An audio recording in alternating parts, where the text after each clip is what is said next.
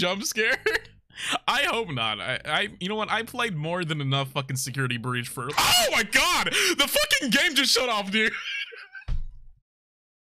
Who did that? You motherfucker.